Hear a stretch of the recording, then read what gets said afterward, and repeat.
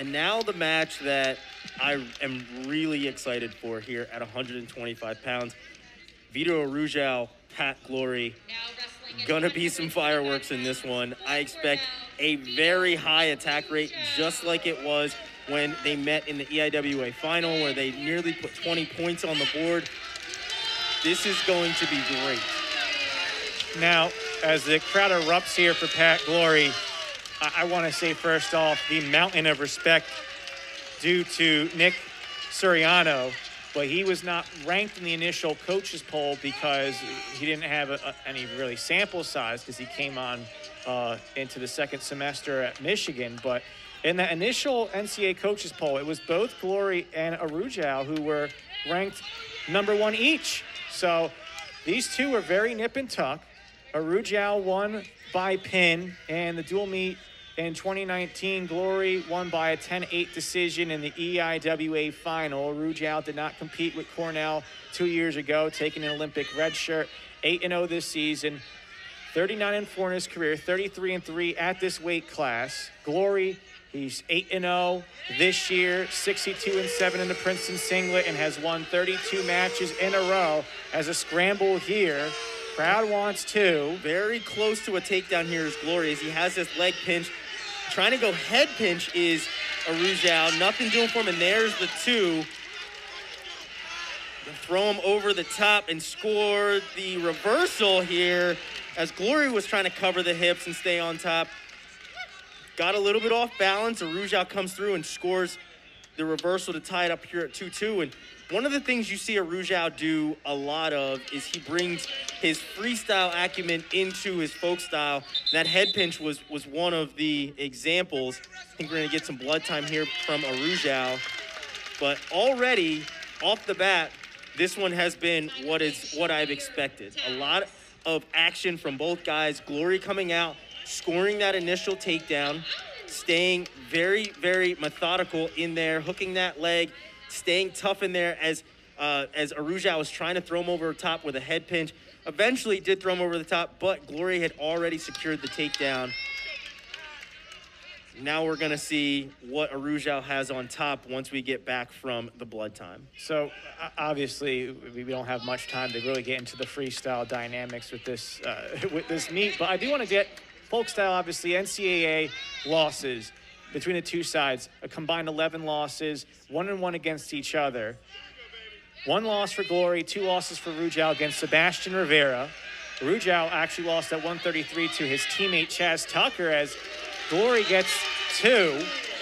There's a slide by by Glory to come out and score that takedown. Was digging underhook, came through on the other side, went slide by, rear standing, and finally got Arujau down to the mat. And now we're gonna see Glory get to what I consider is his signature ride, where he locks in on that that right leg of his opponent, keeps that hip elevated, stays a figure four lock above the knee, and just goes to work and and really puts a tough ride on guys here as he has Glory flattened out.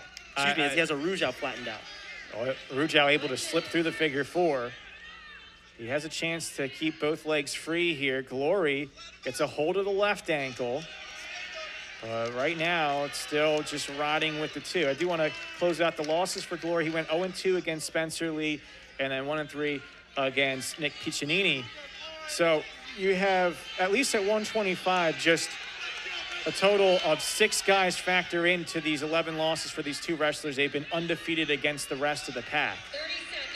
Looking for a switch here is Arujau, and he's going to step across and score it.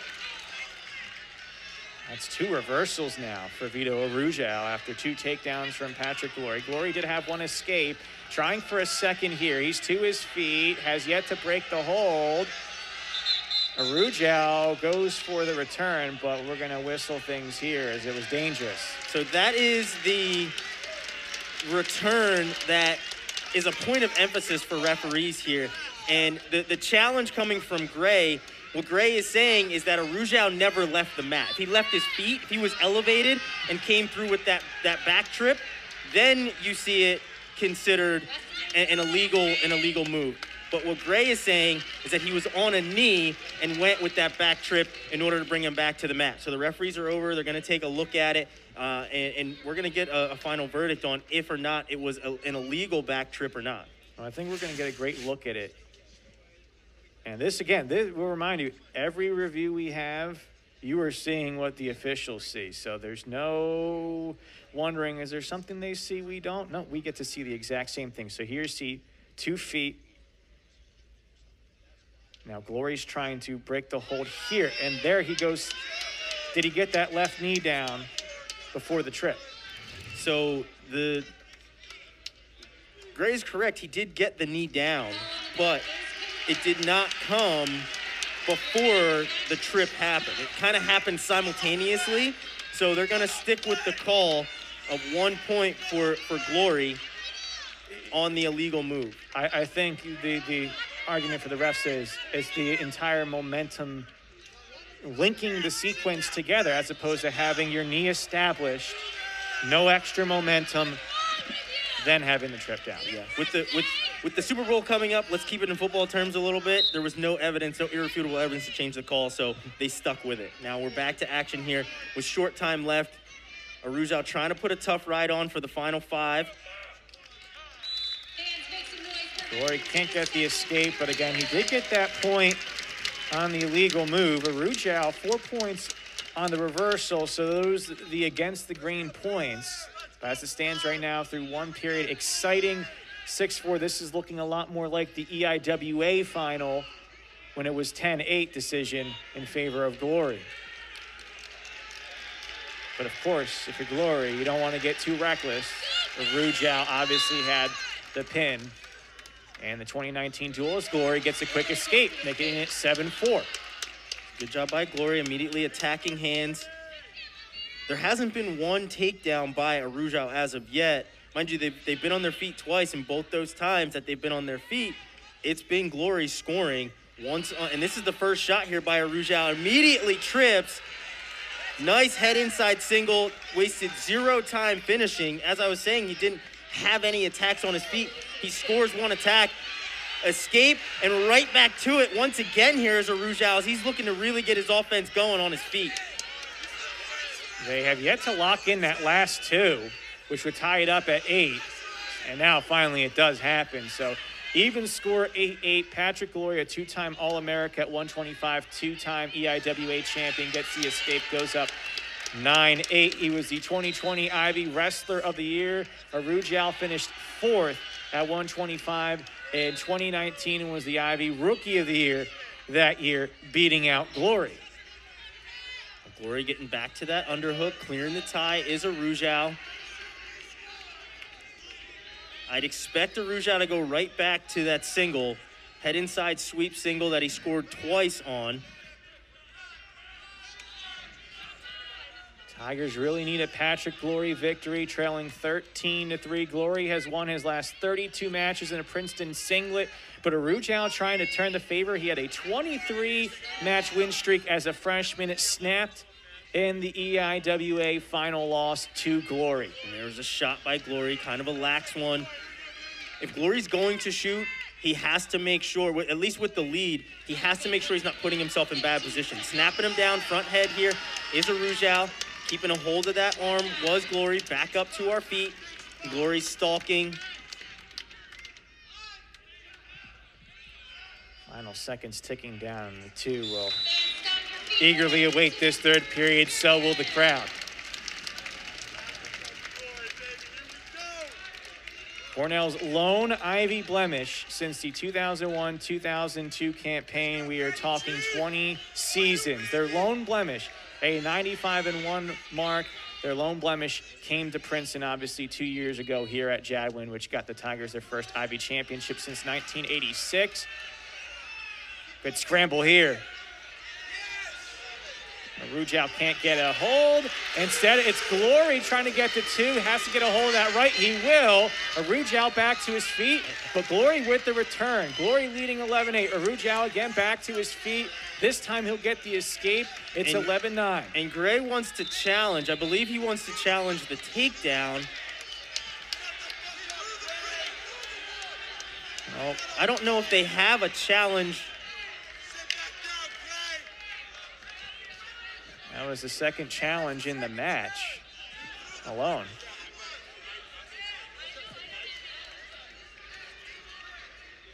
Well, the officials, I think they're going to oblige here. Well, the, the officials are, are, I believe they said that, that the other one was not a challenge. That that was a that was something they looked at themselves. So they gave that challenge Okay. brick back to Grey.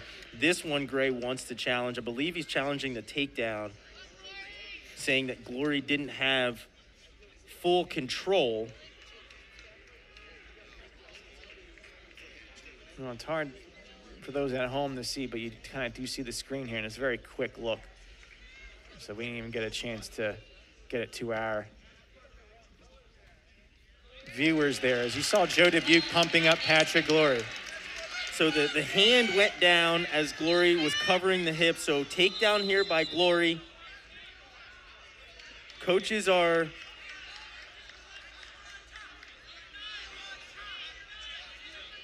Now we again we did see Joe Dubuque pumping up Patrick Glory. Dubuque, the two-time national champion from Iowa, and, and you have a case where those two obviously have a great relationship uh, as 125s. Big package that Princeton Wrestling released before this meet, about a six-minute package talking about how the Tigers they really want this win to make sure it is a trend as opposed to what some may say was a fluke when Princeton won two years ago. certainly. They know how important this one is to their chances of winning. And Rujau firing off a shot, trying to get his leg back. Here is Glory. Now draped over the top. Last time we were in this position, Glory one was able to come out and score the, the takedown, and Glory locked in the crotch, trying to sit to it. Still trying to sit to it, looking to hook this leg. Neutral danger is what Dubuque wants on the edge of the mat. Not going to get it. Here is Arujau now passes a leg. May get a stoppage here as the, the hip and back of Arujau are bent up a little bit. And now one of the one of the things that, that I took notice of as we went into the change of periods is Arujau shaking out that right hand. Looked like his, his his his wrist may have been a little bit bent up and a little bit banged up during that period. There's a shot by Arujau. Over under position here. Arujau trying to dig in. Glory doing a good job of holding on to that wrist. Riding Arujau time needs not a, factor takedown at all. It's still 11-9. Arujau needs a takedown. Glory does have a, a stall warning to give, and we're gonna we're gonna see the stall. We should see the stall warning come. We're not gonna see the stall warning come. It's not gonna make a difference one way or the other. And Pat Glory gets the win, and he is going absolutely crazy here as he gets the 11-9 win to stop the bleeding here for for Princeton. 33 in a row for Patrick Glory. Stays undefeated in a co number one matchup, according to the coaches. Now, in the media, again, it's 2v3, but Glory, he now his hat, has his hat in the ring with Nick Suriano, among the best at 125, and the Tigers staying in it. It's 13 6 with four left to go. 133 and 141 coming up when we return. Jadwin back in it here.